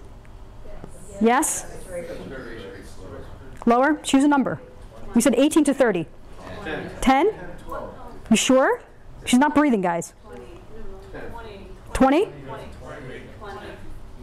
Okay, final answer. 20. Okay, all right, 20. Let's see what happens. Sure, I'll give you that too.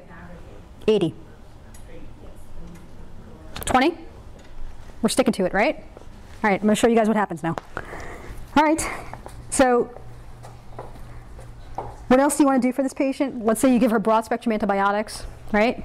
You're going to start, she's, you're assuming that there is a COPD component to this. So now you have inline uh, nebulization. She's going to be on continuous nebs. You're treating her like a COPD exacerbation. You're treating her like a pneumonia exacerbation. I actually had the respiratory therapist run and get me Heliox. You guys ever use that? I was literally in this room for an hour and a half. I could not leave this patient because I could not oxygenate and ventilate her. Okay, so this was actually a really tough case. Fortunately, we did not crack open that Heliox. That's like $10,000 right there. Okay, fortunately, we got control before that. I even had one of my friends from respiratory from uh, the MICU come down and help me play with the ventilator because this was a really tough case. Now,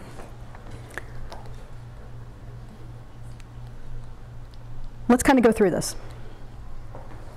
I'm going to give you, do you guys see that ABG that's down there? I thought Heliox was more for. She was dying. I was doing everything I could. I'm really, I'm, I'm making this really easy on you guys, but I really could not oxygenate and ventilate this woman for about an hour and a half. Okay? Case three, do you guys see the uh, ABG over there?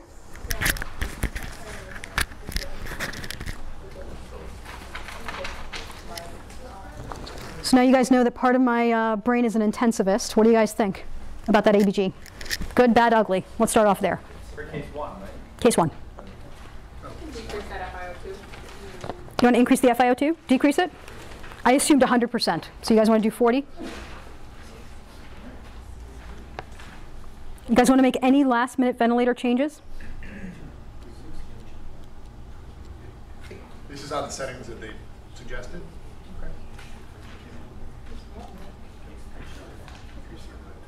Which ABG we looking Uh, case one, number five.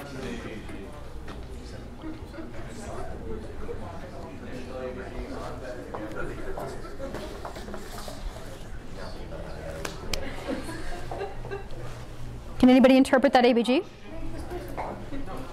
So this is after an hour and a half. This is after literally being in the room and working with her for about an hour and a half. This is your final ABG. You want to go up on our respirations? Come on, guys, final answers as we go through this. Her blood pressure? Her blood pressure now I have it in the 90s systolic. Thank you. She's good to go. MICU, we're done? Well, I I think you have to bring down the oxygen level. Okay, so she was at 100. You guys suggested 40. I'll give that to you. Can you do permissive hyper, uh, hypercapnia? Yeah, so, so you can. So in this case, 60 would actually be okay. I will tell you that the one difference between what I did and the, the settings that you guys had is that my respiratory rate was a lot lower. A lot lower. Eight. Does that make any sense? Well, now that I know she doesn't have like a crazy high CO2, as soon as I saw that 66, I was like, she's probably a chronic retainer. She probably lives kind of higher. Uh huh. Like now I feel more comfortable with her being at a lower. Okay. So I want you guys to be really careful. This concept of chronic retainer, right? Do you guys understand? Do you guys know the 60-60 club? Do you guys know what that even means? Okay, the 60-60 club. This is when a person has a PaO2 in the 60s and a PaO2 in the 60s, and they're just chronically horrible lungs at baseline. You have to be so careful before you say that a COPDer has really bad lungs at baseline, right? Unless you can pull up an ABG for me and say that this is where they live and their pH is normal and they're always hypercapnic and they live like this, you actually don't know the answer to that. And in an acute process, I'm not saying overcorrect. Permissive hypercapnia is okay, but I wouldn't let them be 70, 80, 90. Okay? How do I know that this is an acute process? Look at that pH. That pH is not normal. Okay, that tells me that this person does not live at this number. So, Only twenty-nine point three, I mean, you'd expect it, if it's an acute process, you'd expect, yeah, uh, yeah, a little bit more of a drop in that. Yeah, so there's a second process going on, right? So this is actually a triple acid-base disorder. So this is a respiratory acidosis, thank you, with a metabolic acidosis and alkalosis. Right, so this one is kind of sick. Why'd you start so low? I'm going to show you. I'm going to show you. So let's go through, and this is kind of what you guys were doing, okay, when I asked you to troubleshoot, and I want you to actually see this on paper. So there's a lot of mnemonics out there. I just chose the DOPES mnemonic. I don't care what you choose, because you guys can actually do it without mnemonics. You just showed me that. But let's go through it. So if patient is having trouble breathing on the ventilator, what do you do? First thing is you want to check the tube, right? You guys did that. So just make sure that you attach to end tidal CO2, check the placement, check the depth. We did that. You want to check for obstructions, right? We talked about mucus plugging. We talked about, we didn't talk about biting. You didn't ask me if she was awake and biting down on the tube. Well, that's going to prevent her from breathing, right? That's why we sometimes put these patients, we make them comatose so that we can take over. Pneumothorax. So you want to auscultate. We have ultrasound. We're really great at that. Get a chest x-ray. If you need to, these are the patients who are going to pop a bleb. Okay, so if you hear decreased breath sounds, you have proof on your ultrasound. This is when you do your chest tube. Equipment failure, very possible. that's why we take them off of the ventilator and start bagging them so we get control and we know what they feel like. and then there's this concept of auto PEEPing that you guys were talking about, and that's why you want to start them on bronchodilators. this is auto PEEPing. What am I pointing to? what do you guys see here? Yeah. Excuse me, guys. So what you see here, this is your flow curve. The flu curve should come back to, sorry. flow curve should come back to normal, to baseline, and it's not. And that tells you there's extra pressure in the chest at the end of expiration. And that's a problem. If there's extra, if there's flow that's not getting out of the chest, should the pressure curve also be creeping up? so it can. It most certainly can, right? Because there's going to be extra pressure. But in this case, this is actually exactly what I saw. This is not her ventilator. Unfortunately, there was too many other things to go on for me to actually stop and take a picture of what was going on with her vent. But this is kind of what it looked like. What I saw when I was staring at the ventilator was that her curves were not coming back to baseline. Do you guys know what the expiratory bu uh, button is? Have you guys ever seen that button? So you guys know where the inspiratory pause button is, right? Next to it, there's an expiratory pause button. That expiratory pause button allows you to calculate how much internal PEEP the patient has. So you set your PEEP at five, right? This patient has an, an extra PEEP of four and a half, making their total PEEP of 9.8, meaning that they're not fully exhaling. They have all this extra pressure in their chest at the end of the respiratory cycle. Does that sound like it's going to be a great way to breathe? Probably not, right? So what do we do for these patients? COPD, come on, you guys know how to manage this, right? Okay, so muck around with the I:E ratio, right? Is that what you're telling me? How do you do that? Change what? Adjust the IE. Shorten the expiratory portion and the- and then extend the expiratory. How do you do that? Yeah, how do you do that? Decrease. You guys are saying all the right words, just tell me how to do it. How do you increase, how, how would you decrease the short time, guys? Increase the expiratory flow rate. Okay. Right, right. Okay. The flow rate, or shorten the flow time. Or? Increase the, uh, increase the expiratory time. So I can increase the inspiratory flow rate, or I can decrease the respiratory rate. This is so counterintuitive. I'm going to show you guys this in picture form, okay? Because I had to see it in picture form to get it. We're going to work through this together, okay? You will never put a patient on these settings. This is really meant just to make the math super easy so you guys understand the concepts. So somebody has a tidal volume of a liter. Please don't ever do that. Nobody deserves a tidal volume of a liter, okay? So you put the patient on tidal volume of a liter, respiratory rate of 12, and their default inspiratory flow rate on the machine, you turn the machine on, the default is going to be 60 liters per minute. With me so far? You guys ready for fancy math? The total cycle time depends on your respiratory rate. Okay? So there's 60 seconds per minute. You set a respiratory rate of 12 breaths per minute. So that means that every five seconds, there's going to be another respiratory cycle. With me so far? So how do I change my I:E ratio? So my I:E ratio, if I have a flow rate of 60 liters per minute, this is why I chose 1,000 liters to make the math easy, it'll take me one second to push in that air. With me? So if it takes me one second to push in the air, my inspiratory time is one second, my total time is five seconds, that gives me a four second expiration rate, expiration time. Questions? You guys want to absorb this for a second? We're okay? Okay. I'm going to take exactly the same case. All I'm going to do is change the respiratory rate to 20. We were at 12. I'm going to go to 20.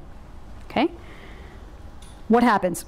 your total cycle time, so 60 seconds per minute, 20 breaths per minute, now your total cycle time is 3 seconds instead of the 5 seconds I had previously. My flow rate is exactly the same. I didn't muck around with anything else. I can push in a liter every second, which means my inspiratory time is now one second. That only leaves me two seconds to expire, which means that if I drop my respiratory rate, I've now increased my expiratory time. Does that make sense now? I see a little bit of confusion, but does that make sense? Okay, I'm going to do it graphically for you. If my respiratory rate is 12, my total cycle time is five seconds. Okay, if my respiratory rate is 20, my total cycle time is three seconds. Which means that if my inspiratory time is held constant, my expiratory time increases if I decrease my respiratory rate. Make sense? Right? Problem solved? Now, the other way I can do this is increase my flow time. So one of the other things that you'll see the, the respiratory therapist doing sometimes is mucking with the flow rate. What that's doing is that if I can push the air in faster, that leaves me more time for expiration in a total cycle time. Okay, what are the dangers of doing that? That means more pressure in the chest quicker. So you're going to have some consequences of that though. Make sense? Okay, do you guys now see why you decrease the respiratory rate? This is why I would set this patient's respiratory rate lower than normal to allow her to exhale until I've kind of got her through the hump of that COPD exacerbation, and this is why you reassess these patients. Cool? Make sense? But if you just, if you just look at it, you know, just about if you, if she already had breath stacking in the beginning. Yeah. And then you're not gonna increase, increase the respiratory because you're gonna get more breath stacking. Right. Right, so the respiratory rate. Right. You're just pushing more air in that's not going to come out. And you're not giving the time, enough time to exhale. Precisely. Precisely. That's why it makes sense to decrease your respiratory rate actually, and to fix their COPD exacerbation at the same time. Okay? Yeah. The flow rate of sixty liters per minute is, is that? Default. That's a default. So we don't mess with that, we're just messing with the rate in order to control the. So mess with one thing at a time, right? So I, you don't have to like do 10 things at a time because then you're going to have zero idea what you're doing to the patient. Everything I do on this machine has consequences. So if I muck around with the respiratory rate first, what I'm going to do is step back. They're on end-tidal CO2. I'm going to see if their CO2 goes down. I'm going to reassess them with an ABG, see if I'm fixing the problem. Right? The problem in this patient was that she was not ventilating. Right? That's why she was so acidotic. If I can get her to ventilate, I should be able to correct the acid-base problem. Okay? So for us, you would want us to mess with the respiratory rate first. Do one thing at a time. Forget about the flow rate for now. I mean, use that as like a second option if So there are several ways that you can change the I:E ratio is what I'm arguing. What I'm arguing is do one thing at a time. You guys are going to be more comfortable messing with the respiratory rate than you are with the flow rate. There are consequences to everything we do. Do one thing at a time, reassess, and then if you need to, change the other thing. Can I just make one point? Just, just recognize that this is a rock, this is like a worst case This is a hard In the first case. place, we have a patient who has a ventilatory problem, and because of their breath increased intrathoracic pressure, had a blood pressure problem, had a circulatory problem, right? So you're trying to tread the line between the two. Don't take the message that for every restrictive COPD patient, you want to automatically zoom to a low rate, right? Because the, the flip side to this is you, you know, depending on how, uh, what, how bad their respiratory acidemia is, and you have to stay on top of. Correct. Ideally, you want to optimally ventilate these patients, but this case, between that and you know, no blood pressure. So you're treading a very fine line. But in any of these patients, I guarantee you, and I would also be doing is checking repeated gases to make sure that the pH wasn't bottoming out, right? Addic- that's why I looked at this gas and I was like, nah, not bad. Blood pressure 90, pH 7.2, you've won, right? 727. I mean, that's a that's a viable pH and it's a and it's a blood pressure that's stabilized. That's what you're looking for. And optim- someone saying when they looked at this gas, they said, oh, increase that rate, let's fix that, right? But then you're going to zoom back into that breath stacking problem. Just you're treading, you're walking between two a rock and a. Absolutely. So this was an incredibly difficult case, right? Because there were several different disease processes happening at the same time, all very acutely. She was dehydrated, she had pneumonia, she was a COPD exacerbation. This was not a pure anything. That ABG was after an hour and a half of me being in the room and mucking around and getting multiple ABGs. It got to the point where I put an A line in her because I was checking them about every 15 to 20 minutes. Okay? So this is a patient that you don't walk away from. Yeah. Somebody that you would have to paralyze. Um, I actually wound up paralyzing her to take over, but realize that if you paralyze, that means that this patient cannot participate in the respiratory cycle. That means it's more on you. I mean, I assume that like you're decreasing her respiratory rate. Yeah, she's not going to do this by herself. Sick because she's not ventilating for herself. So Right. If you, left, if you just paralyze her, she'd probably breathing more. Correct. Correct. This is the kind of patient where you need to take over. This is not a pure COPD patient. Okay? For a pure COPD patient, assuming that there's no pneumonia, there's nothing else going on, would I use a respiratory rate of 30? Eh, unless they came in like that, probably not. Okay, would I use a respiratory rate of 6? Probably not. Right? You have to find your sweet spot and you have to make sure that you reassess these patients. End-tidal CO2. Make sense? Any questions on that case? Yeah. So go along with what, uh, Jenny was saying, I mean, you could get good information if the patient was not paralyzed. Could you not obtain good information? I mean, I don't know the proper term, but intubated version of BiPAP, would that not have provided you with good information as far as what, what the patient's uh, underlying respiratory status was if she wasn't paralyzed? So the problem was that when she was not paralyzed, we couldn't get control of her ventilation. She was trying to assist, it was not working, right? A patient who's not breathing panics. Right? She was not helping, she needed to kind of be out of the picture for this case. This is what you'll see with like really difficult ARDS to control, really difficult COPD to control. Sometimes you just need to paralyze them and take over. You've probably experienced that when you're in the MICU with these patients. I'm not saying do this for every single patient. Please don't take that away from this lecture. Okay, this was a really difficult case. Okay, let's switch gears. Let's do another case. One more case. We'll do one more case. All right, so this guy, you've seen him before. His name is Greg.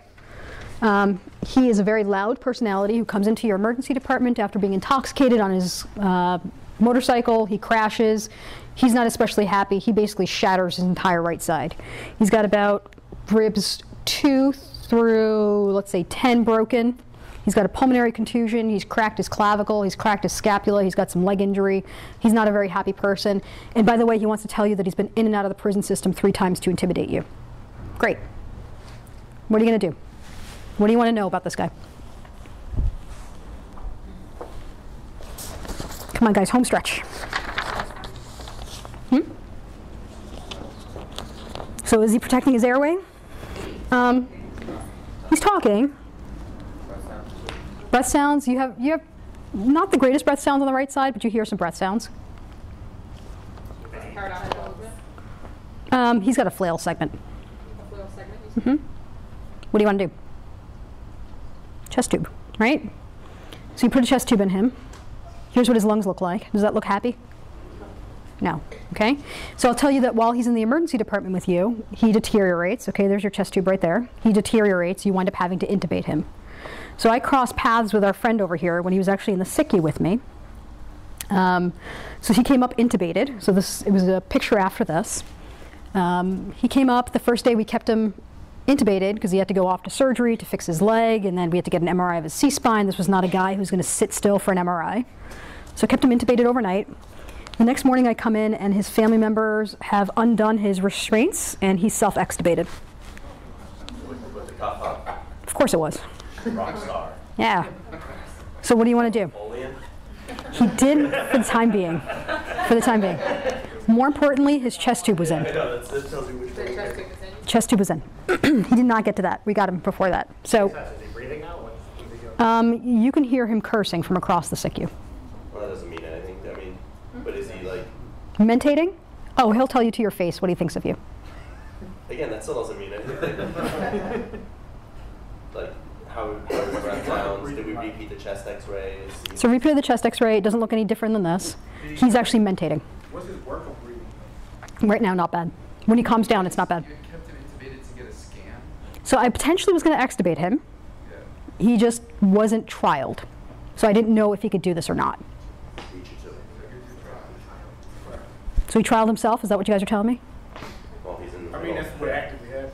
Okay. Trial by fire Looks like right he's now. Okay. I think, I think, I think at that point, he's probably fine and appears fine. But with the type of injury he has, I think he'll eventually become. Yeah, so he's at high risk of decompensation, right? I basically told you. If he's not, uh, So his entire right side is not working so well, right? So that's what you guys need to be nervous about in a case like this. That's what's going to be nerve wracking in a guy who comes like this to the ED. would he be amenable to, uh, or amenable to, uh, or uh, non-invasive? I mean, this guy sounds like somebody who's just not going to cooperate at all. So it's okay. probably someone that you're just reintubating for the possibility of respiratory failure in the future. Okay, so made a decision. Not going to intubate him.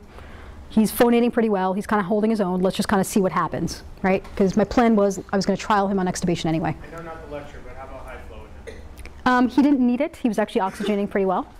So not just yet. All right, so I come in the next morning. It's now 7 o'clock in the morning. Here's his chest x-ray. so what's your first reaction? I'll tell you mine was, well, he's obviously rotated. Okay? All right, sorry, shot another chest x-ray. It looks kind of like this. What happened? What did, just to, to go back, did, did they do anything in terms of just pain management for the? Yeah, yeah, he was on a drip. He was on a PCA drip. He, don't worry, his pain was well managed.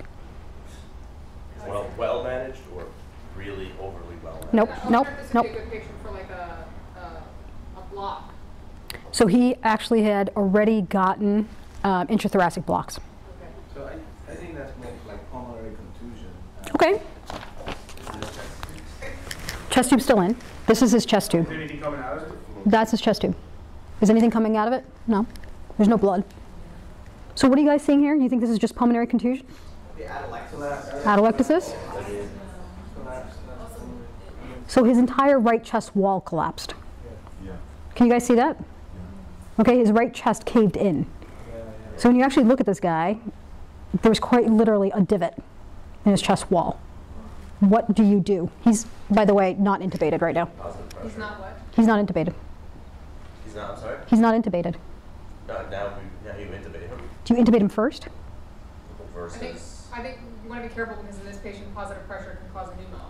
So it's either you're checking that chest tube or you're using another chest tube. So he has a chest tube. Do you want to put another one in before you intubate him? You said his chest wall is Uh huh. not, not his, not his, not his lung, his whole chest wall. The entire chest wall caved in. This is this is worst case scenario flail segment, guys. This is what happens. He needs surgery. Well, okay. Um, so you guys see where I work. Okay. Um, there is one surgeon. It's now Saturday, by the way. There's one surgeon who knows how to do this procedure to fix a person's chest wall, and they can't get the materials until Tuesday. So what do you want to do? Two main stem intubations. main stem intubation. So here was my concern with this guy. So there's another pneumo. You guys see all this subcutaneous air? There's another pneumo that I cannot see. And my concern was that if I intubated this guy, he was going to crash. So what I actually did, he was he was awake, he was phonating. I told him I'm putting another chest tube in, right? This was not low-level chest tube. And the reason for that is that he's cracked basically every single rib and his chest wall is caved in. And there's a very high risk of you cutting yourself as you did this. So this is a chest tube that I placed. Okay, so I placed a second chest tube going high. Now I knew that I had control of the airway. I intubated him. What, what size chest tube did you put in him? The biggest one I can get. I could put a 42 in. Why so big? Um, If you're concerned for pneumo versus hemo, why not just? How do you know what's going on in here? You know there's no hemo? Or he came, he came in with a hemo pneumothorax. He came in with a hemopneumo. The answer is you have no idea what's going on in here. All I see is really horrible collapsed lung. Is there a chance he's got a hemothorax? The answer is about a 99% chance, right? He's cracked every rib. I bet you those things are bleeding. His intercostals are probably bleeding, and I've got zero activity here. I'm going to get one chance to do this, right? So I put a big chest tube in. He tolerated it. Then we intubated him. Um, how are you guys going to oxygenate and ventilate him? What ventilator settings are you going to use? Give me your tidal volume now. Do you want to reinflate this? Is, is there an air leak when you, uh? Oh, yeah. Oh, yeah. So you probably want to lower tidal volume. Lower. Um, uh, intubate him via scope and go down to left. The intubation was not hard. No. He's saying- He's saying left main, left, left main. So you're saying one lung ventilation? You want to completely knock that lung out? You want to ventilate, but It's not going to be very helpful for the ventilation. I would still ventilate both. I would start with the tidal volume so that you can still use and recruit from the right. Okay. And then you predominate from the left. Did you say APRV? PRVC? Okay, the mode of ventilation is not the important thing here. I was able to use assist control vo- uh, volume control, and he did great. But what did I do differently in this guy? Paralyzed him, Sure, so he didn't pull the tie Sure. well. sure. We actually restricted family members, more importantly. so I used one lung ventilation. but how did I do it? so I actually put the ET tube in, regular old ET tube, right? I'm an ER doc. I do not do double lumens. but what I did was that I counted, basically this lung was not going to be working so well, right? So let's say this guy's six feet tall. What's the tidal volume you want to put him on normally? You said at six feet? He's six feet. 500. Yeah, this is your 500 guy, right? So if I put him on 500, what's going to wind up happening? I'm going to hurt his good lung. Am I going to blow open this lung? Probably not. So the chest wall is caved in, right? This guy has zero compliance on that side. I'm not going to be able to blow this thing open. In fact, what I'm going to probably do is create more pneumos and create more bleeding, right? Probably not going to work. So what I did was just find the sweet spot so that I can actually ventilate him well. It actually worked really well. I couldn't put him down on this side for obvious reasons. That's another thing that you can do when somebody's bleeding out or there's that other problem. Okay, this guy was not a one lung down kind of guy. and what we did was basically wait until we can get this guy to the OR. These are end stage cases that I'm telling you guys about, right? These are super difficult cases. What wound up happening? Here he is now. Wait, sorry, so you, you, you said you, you did one? You put it in? I, I used a regular old ET tube, I just gave him less volume. Oh, okay, but in the. Regular old, yeah, So what, what, what volume did you end up doing? 350.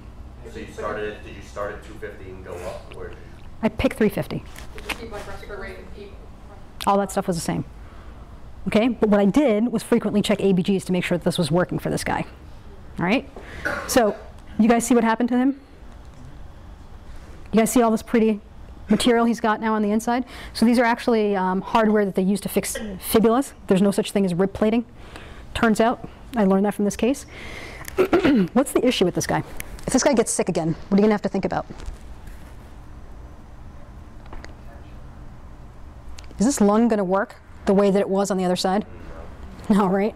This guy actually does not have any great compliance. He's not going to be able to expand and contract his chest wall on that side like he normally would. This guy getting sick when he's 75 is going to be a big deal. All right, cool case. End stage case, okay? But thing for you guys to think about. Am I out of time? Okay. So I'll kind of do this real quick. Um, I'm just going to go through the ARDS. Just make sure you guys look up the ARDS protocols, right? Know your PEEP and your FiO2 levels. Know how to use your PEEP. Uh, just in summary, patients are decompensating. Please check your tube. Please take them off the ventilator. The ventilator could be part of the problem. Bag them to get a sense of what's going on. Check your ABG and PaO2. You guys know now what the peak and plateau airway pressures are and what you're trying to achieve. You guys know a little bit about PEEP. Remember to correct hypoxemia more than hypercapnia. Permissive hypercapnia is okay, except in brain or neuro-injured, uh, I apologize, neuro or cardiac injured patients. Use PEEP. You guys know now what it does to recruit the alveoli. Remember to think about your respiratory rate. Everybody does not get the same number. And then for ARDS, this is what they recommend. I do not recommend that you guys let the PaO2 go this low. Okay? But remember, don't hurt the patient as you're doing this. And then uh, use low tidal volume ventilation, please, in the ED. Any last questions? And feel free to email me if you guys have any other questions. Okay? Anything else?